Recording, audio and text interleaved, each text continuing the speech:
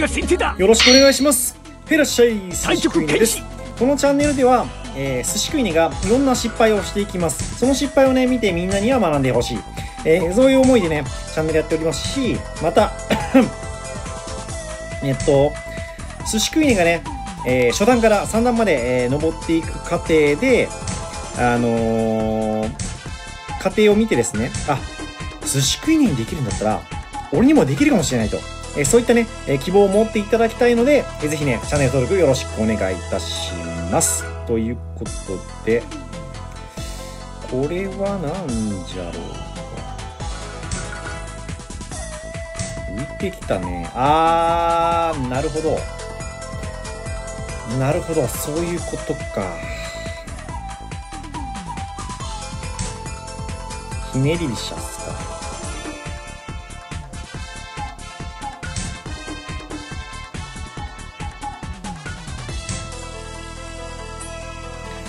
どうしよう。恋なぎり右力やろうと思ってたんやけどなひねってくるんか。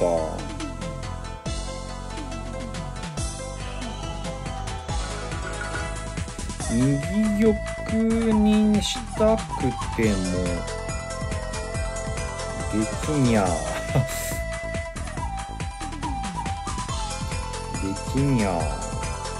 どうしようか。どうすりゃいいんだろう。どうすりゃいいの？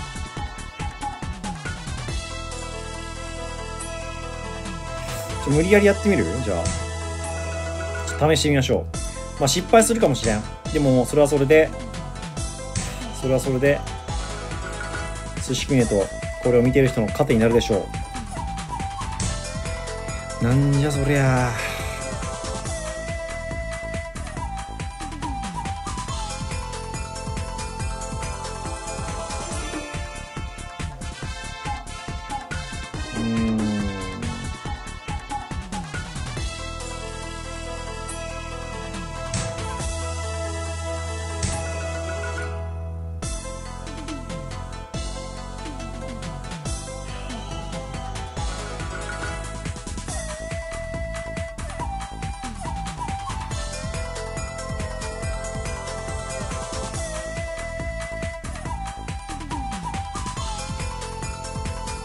どうしようか。角とりあえず上がっておくか。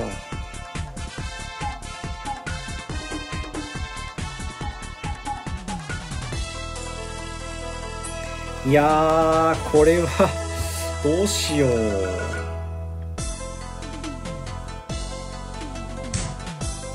なんか人流できた。どうすんこれ。桂馬跳ねられたら、桂馬跳ねられたらさ、取られちゃう。桂跳ねた時に、なんかビビるとかあるかな。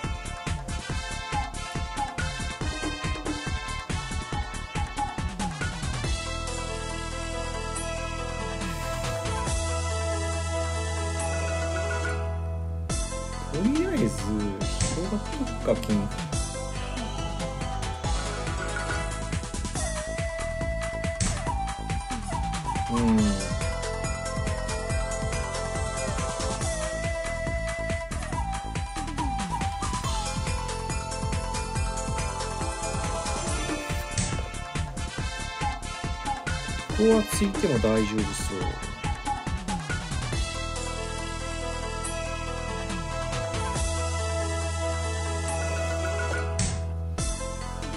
なるほどね。うん。ここもついとくか。緑豆の位を取らせていただきましょう。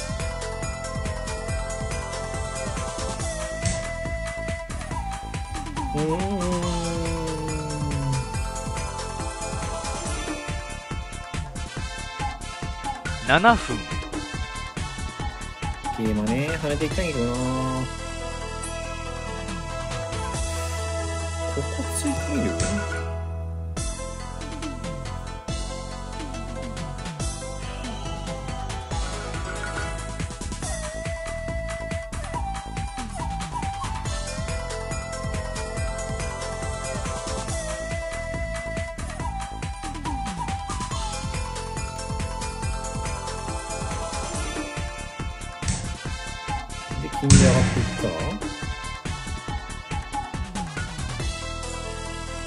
さすがにね3五歩は打ってくると思う。3五歩打たんと逆に打たれて銀が死ぬから。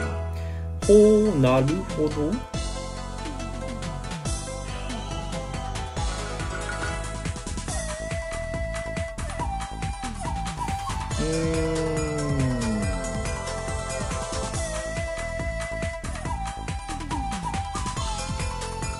銀上がっていくか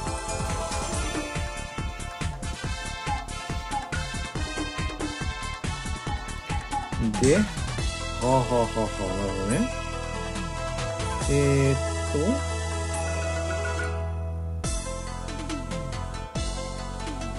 桂跳ねていった方がいいのかな？桂跳ねる、桂跳ねて？歩打たれたら？桂跳ねる、銀が出る。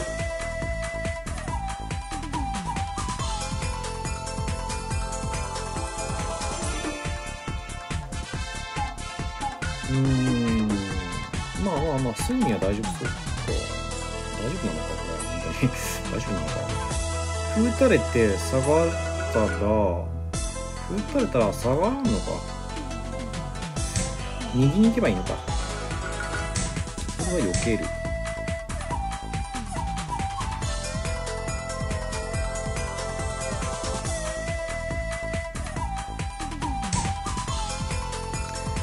角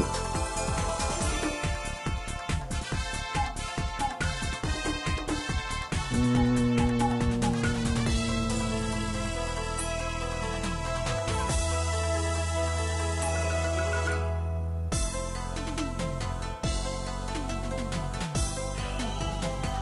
なのかな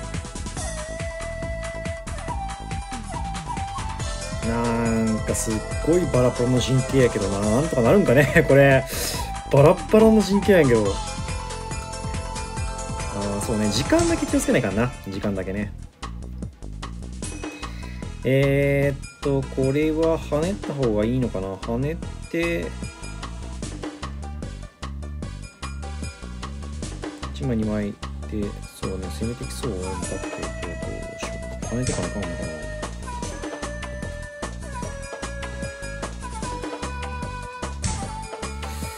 5分。そこは?金が寄ってってこれまとめるかな?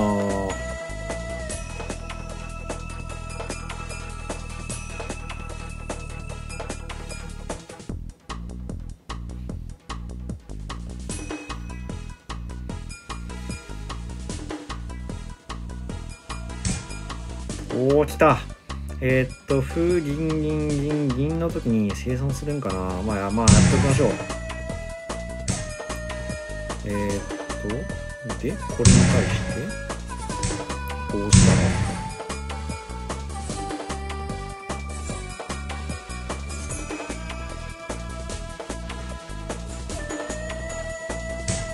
こうして、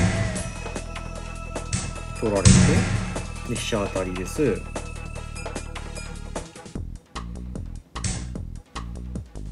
で、えーっと、桂馬打って、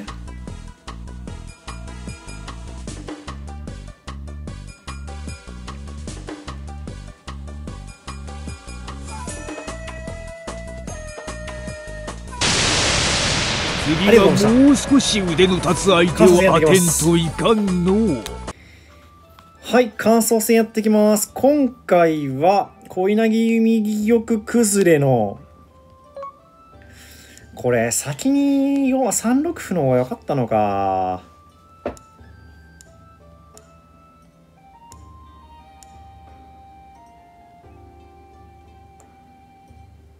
3六歩の方が良かったかもな。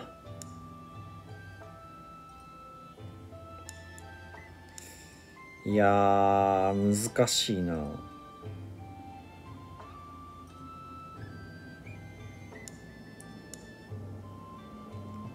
まあ、一直線アナグマっぽく見せるんだったら、ここでこうやってつくべきか。で、こうやって、えっと、こうやってついといて、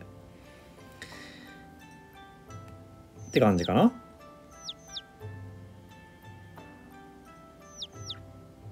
で、上がってきても、銀上がって、さすがにこれはでもまああるんか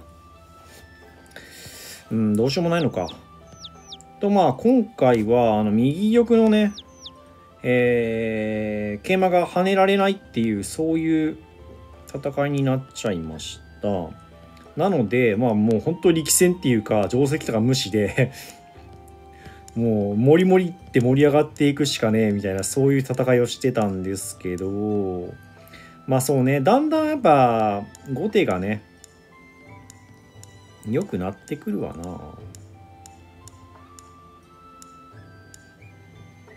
でこうやって攻守3一角。まあそうね。相手側からするとねいいよね。駒が伸び伸び働いてるように見えるんですが。でえーっとまあ同歩同銀。あ違う同桂か。同桂。でこれは同桂同銀。この時にまあ俺は3五歩指しん？3五金指したんやけど4六歩は4六歩はどうなんだ？あでもやっぱ3五金によるね。3五金でまあここまではまあ必然なんでしょうね。でこうやって取って取って取られてえっ、と玉の頭の、まあ、拠点がなくなったよと。で相手不義でですよと。で飛車下がってたんだが4四歩。なるほど。ここで4四歩ですか。そしたら次4三桂馬打てるでしょと。これ厳しいな。なるほど。4三桂打ちを避けるならそうね。例えば例えば例えば。まあ角どっか逃げるんかね。あの13とか。うんそうね。13とか逃げるよね。そしたらまあ角自由になるし。うーん。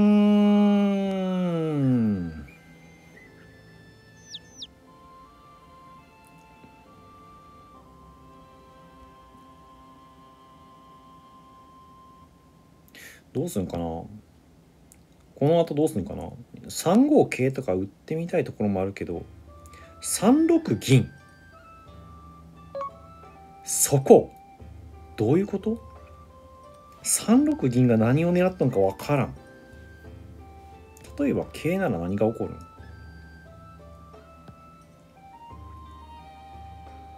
ちょっと上ずりすぎ ?5 三桂。4六金4五銀打ち。あ角よりもさ角よりも5三桂打ちの方が嫌だと言っているのね。なるほど、まあ、このねなんかじわっとしたでねさせるようになったらまあもうちょっと強くなるやろね。次の4三桂打ちが痛いですよと。うん。でここで3六銀もなかなか難しいね。3六銀。そしたら多分こういう手に対してあまあ全然怖くないよと言ってるんでしょうね。3六銀か。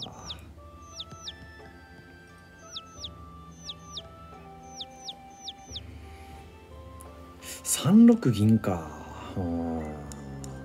いやこれは手厚いっちゃ手厚いけどこれなかなか難しいよ。